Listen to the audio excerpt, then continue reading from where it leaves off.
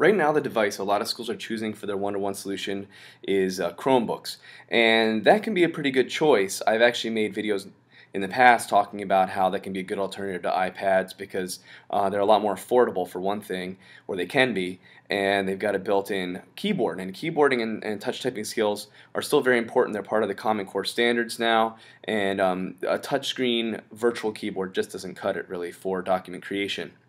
However, having said that, I think a lot of people aren't aware that there are some major caveats when it comes to buying and using Chromebooks in schools, especially in certain scenarios. So in this presentation, I'm going to go over some Chromebook caveats. Uh, another way to think of this is to Chrome or not to Chrome. That is the question that schools need to be asking.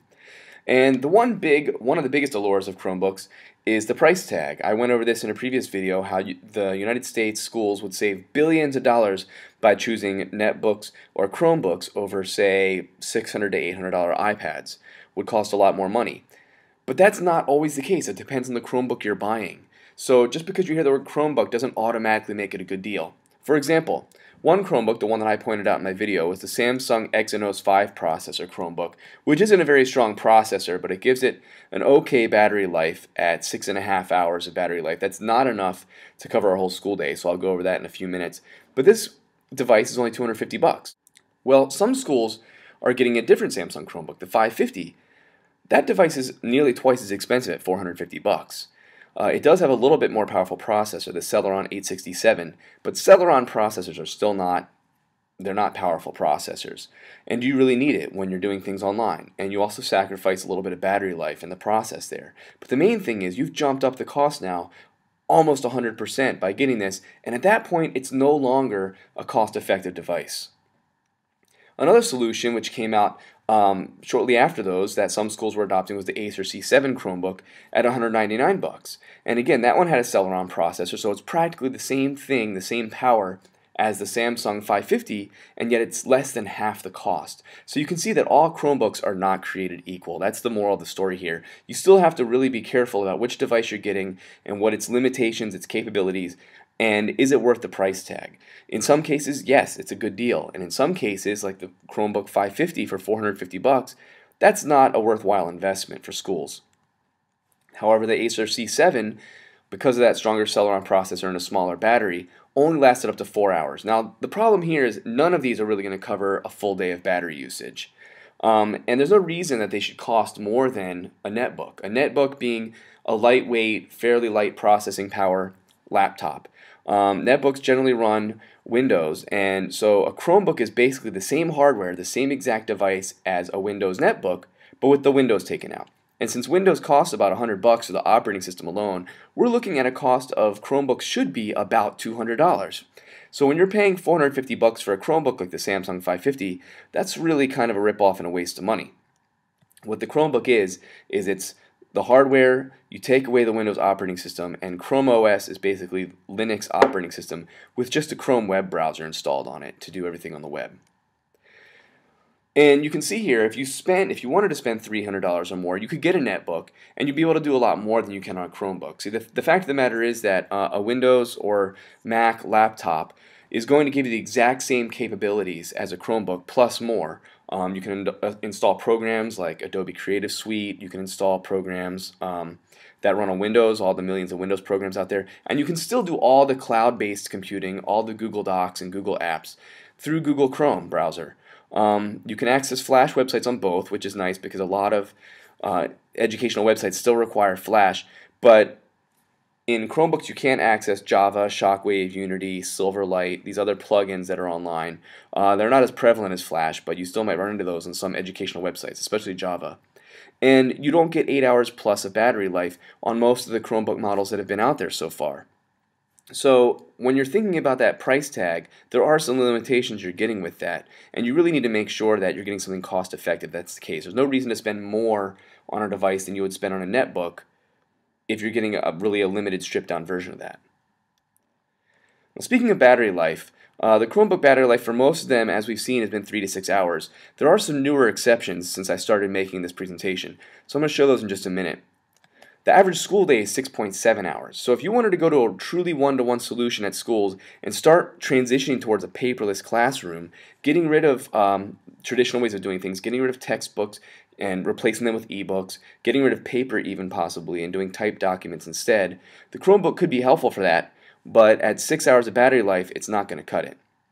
So that lifespan is better than most full powered laptops like MacBooks or Ultrabooks, but it's worse than iPads, it's worse than netbooks, it's worse than Android tablets.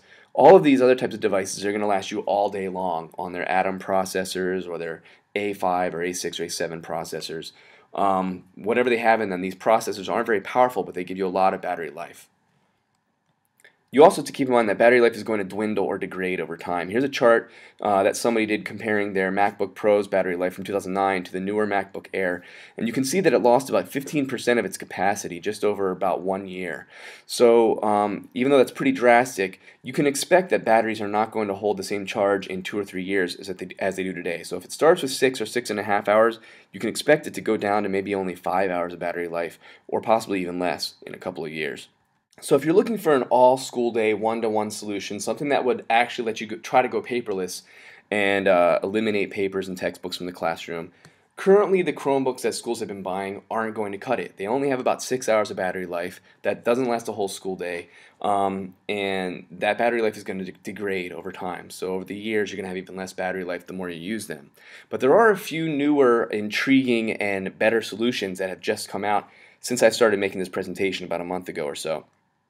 One of those is the Acer C720, and this runs the newer Haswell version, um, ultra efficient processor, and this is a Celeron processor, so it gives you similar power to some of those other Chromebooks, including the 450 buck Samsung Celeron, the overpriced one. And this one has more battery life. It has eight and a half hours of battery life for this thing for under 200 bucks. So if you're looking for a cost-effective solution that does actually last all day, this could be the one. And just announced, there's an even newer version of this, the C720p, which is actually a touchscreen Chromebook. That's pretty much the same thing, but it's got a touchscreen. It's a little more expensive at 299 bucks, but it's still under $300. Still a lot more affordable than say an iPad, and um, a little bit lower battery life at seven and a half hours. Personally, I prefer the longer battery life. Although I enjoy touchscreen, there's some things that make it make it great. You can uh, write and draw on the screen, but a capacitive touchscreen isn't great for writing and drawing. So even though you could do some artwork applications, you can see here it's probably not going to be a great format because um, most likely it won't be usable as, a, as an easy digital camera solution like tablets would be. And it doesn't have a precision stylus pen like you would get with an active digitizer. So even though I'm really excited the direction this is going, I think this could be uh, a cool choice. It could make ebooks easier to use. It could make it could make the devices more accessible to younger children as well. It could make it more useful for kindergartners and first graders to use some of these apps. But overall, I'd like to see a Chromebook or any device that lets you have touchscreen plus active digitizer stylus pen for writing and drawing plus uh, built-in camera all day battery life and under 500 bucks. Right now that device doesn't exist. But I did want to point out there are some Chromebooks that actually do have all day battery life now and they are under $300 Another really important consideration you have to consider if you're thinking about going to Chromebooks is the bandwidth you have available at your school. Um, Google Docs and Chromebooks in general require you to do everything in the cloud. What that means is you're basically doing everything online on the internet. Now sometimes that's not a problem if you're just doing internet research, it doesn't take up a lot of bandwidth. But when you're working in Google Drive and Google Apps, you're going to be transferring a lot of data back and forth through your internet connection, as well as using things like YouTube for streaming videos. Say you want to use Khan Academy or trying to flip the classroom and other um, media sources you're going to want to use a minimum of about half a megabit per second, preferably even a whole megabit per second per user at your school. So to give some example, if you had 400 students at your school and you're trying to go to a one-to-one -one solution with Chromebooks, you're probably going to want to have at least a 200 megabit per second internet connection for that school. Now that's a lot of bandwidth in your ISP that most schools right now just don't have per school. So that's something you need to keep in mind because other devices, um, Windows, Mac, laptops, netbooks. You install apps on them, you install programs on them, and they don't have to be connected to the internet at all times to do those things. If you're creating a video or if you're doing Photoshop, that can be done locally on the computer, and then if you need to, you can save it when you're done, but you're not transferring that data nonstop. If you want to learn more about how cloud computing works, including Google Docs and Google Apps, and why you need this bandwidth, you should watch my video, Cloud Computing is a Dirty Word. And I don't actually think cloud computing is a bad thing, but this video explains why it can be bad to try to do it if you don't have the proper bandwidth. You can also check out the FCC's digital textbook playbook for advice at fcc.gov slash encyclopedia slash digital textbook playbook. And they have a bandwidth calculator to help you figure out just how much bandwidth you will need uh, for your students depending on how many of them are going to be on devices simultaneously and what kind of tasks they're going to be doing. Something very important to consider for Chromebooks, and one of the biggest reasons I say it's, it's a major caveat, is you have to consider the students' age that are going to be using the Chromebooks. Simply put, they're much more limited in grades kindergarten through seventh grade than in grades 8 to 12. Um, I think Chromebooks can be a great solution for high schools because they're good for internet research, they're good for typed documents, they're very affordable, they let you do a lot of things. But, and this is a big but, most cloud based apps have age restrictions on what you can, who can use them at all, period. And to figure that out, you need to look at the terms of use. So um, many of these apps, many of these online programs you can use do allow kids to use them if the kids are between the ages of 13 and 17 and if they have signed parental consent. So as a teacher, as a school, if you get signed parental permission, you could have your kids go onto a lot of these sites and use them. However, a lot of the sites don't allow any usage at all if the user or the student is under 13 years old. So obviously this makes it pretty much a no-go out of the question for elementary school students. Um, let's just look at a few different examples here. Okay, so um, for example, I wanted to use this floorplanner.com website to design 3D models and floor plans of buildings as sort of a project-based learning math activity for my students to do. Well, if you look here under their terms of service or terms of use, that's what I searched for here to find out about it, you can just go down right under account terms and the very first term is you must be 13 years or older to use this service.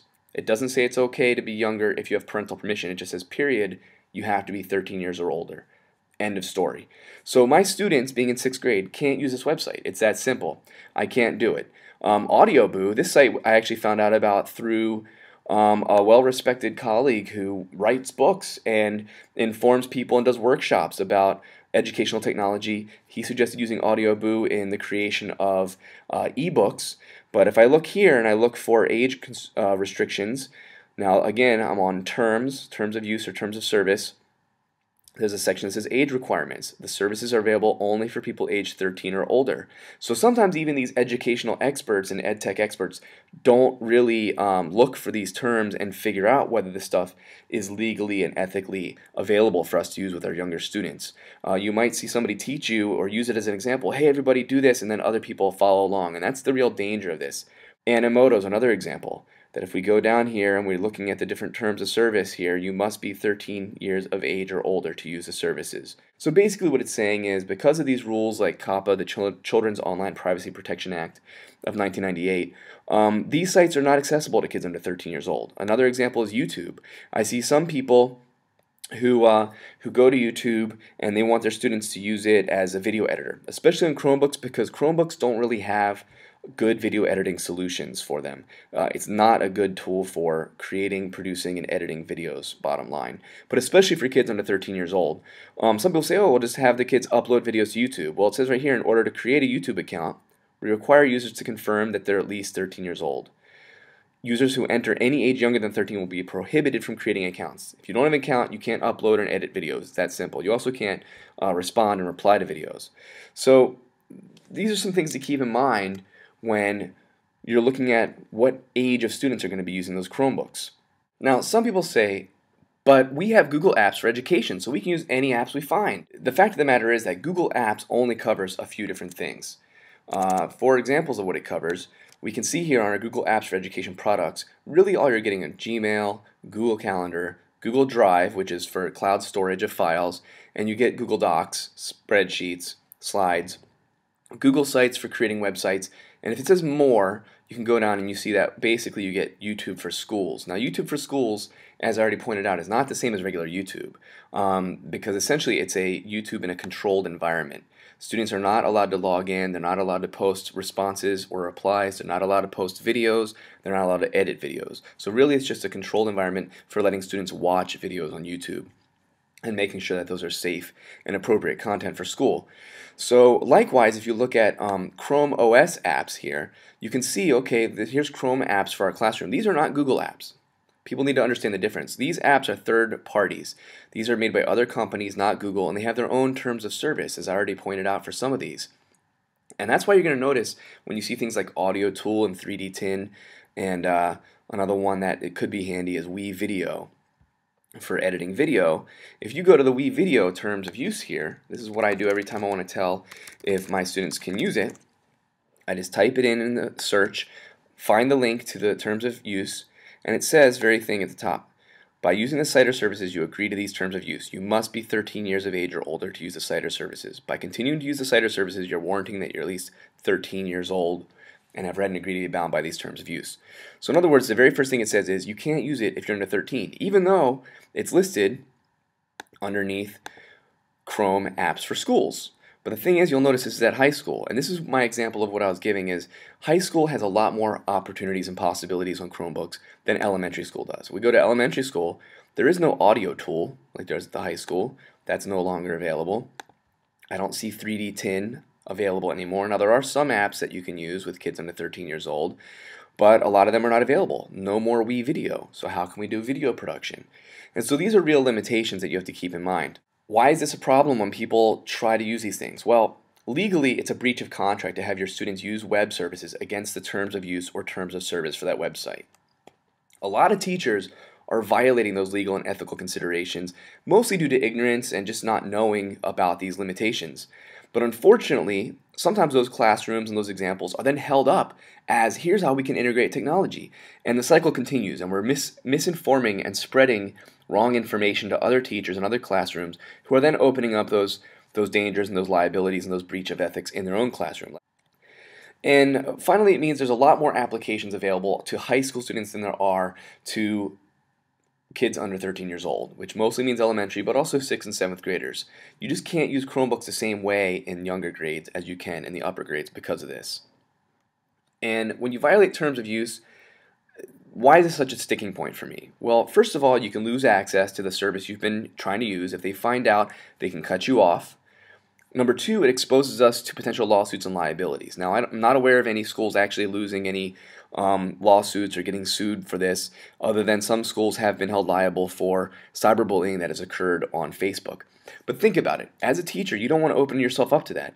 If I were to um, inform my students to set up YouTube accounts in my classroom, and my students are only 11 years old, and we use it to upload a video that they create, and then they, in their offline hours, they go and make a mistake and do some sort of cyberbullying or post a, a fight between some of their friends that happened after school hours, and the parents find out about it and they say, You shouldn't even have a YouTube account. Why do you have that? Oh, my teacher told me to create it.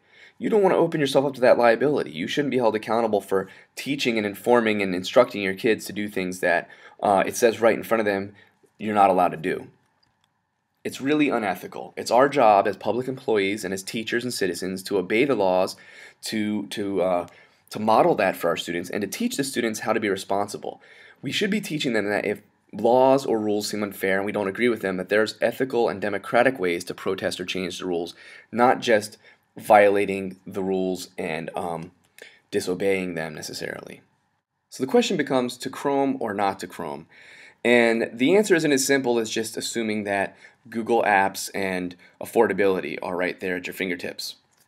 The fact of the matter is, Chromebooks can provide some benefits like lower costs and lower IT management because uh, you don't need to worry about spyware and malware and messing the system up like you would in OS X or Windows. And you don't need to worry about all the app control and installation like you would on iPads or Android tablets because everything's pretty much done on the web.